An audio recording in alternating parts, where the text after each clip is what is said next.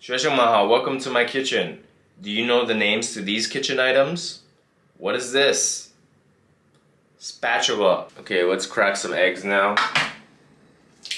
What's this? This is a whisk.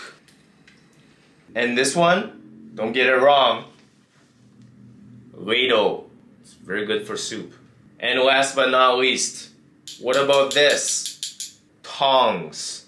不是 thongs, 是 tongs, okay? Thongs 是一种性感的内裤. So don't get it wrong or else I'll get your nose. You guys know what this is? It is a corkscrew. Corkscrew. You use it to open your wine. Okay, that I finished. Reminds me, I need to clean my. What is this? This is a wine glass. Don't say wine cup, say wine glass. And what do I need to clean the wine glass? Dish detergent and a sponge. This is not fun at all.